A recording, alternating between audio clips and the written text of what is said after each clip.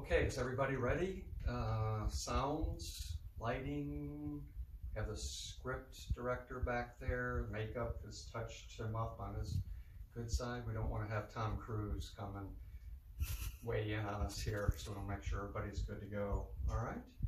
In that case, we'll say lights, camera, action.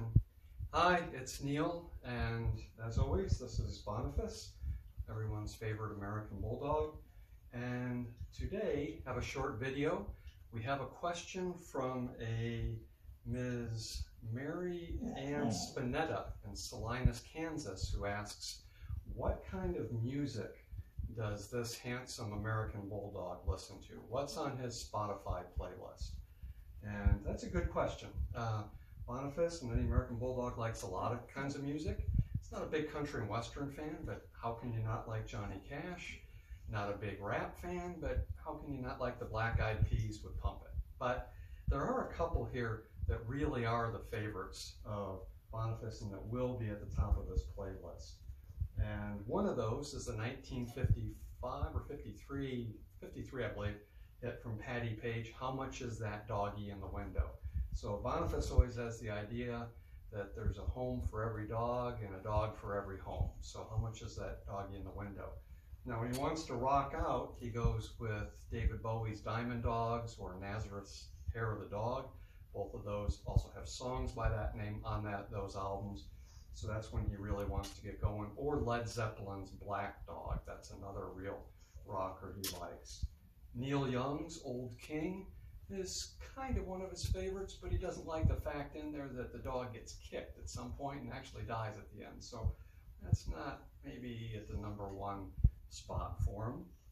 And then there's the 1947 hit by Hank Williams Sr., Move It On Over. And that's a story about a guy that comes home late at night. He's been drinking and carousing and womanizing, and the woman in the house locks him out. So the guy's got to sleep out in the doghouse, and he's telling the dog, move it on over, because the big dog's going to have to sleep in here with it tonight.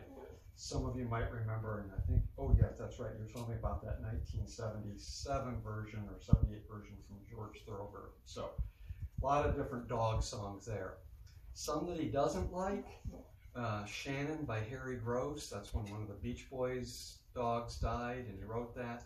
Just a little bit schmaltzy.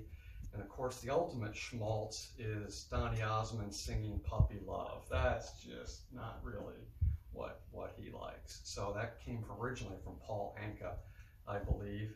And then there was another one that Lobo did, and that was You and Me and a Dog Named Boo. So no, those, you know, they might be on the play rotation, but they're not certainly his favorites. And then, of course, we have what he doesn't like, and I'll give you two examples. And that's Year of the Cat by Al Stewart, and then The Stray Cat Strut by the Stray Cats. You might remember that if you're around in the early 80s, The Stray Cat Strut. But yeah, as a dog, you just can't have any cat uh, songs on his video. So, you know, that gives you an idea, um, Miss Benetti about what songs any American Bulldog would like. Do you have anything else for? Oh, he wants to say two things. One, in the Christmas season, that he likes, I think it was Don Stevens. Let me take a look at that real quickly. And that was Don Charles, I'm sorry. That's the 1955 Bark Dogs Barking Jingle Bells. It's sort of another schmaltzy thing, but yeah, when you're in the season. And then, of course, his all-time favorite of all, and that is Hey Bulldog by the Beatles. So that's his number one. So if there's nothing else, that's all we have. And Merry Christmas to you. We'll see you again soon. Thank you.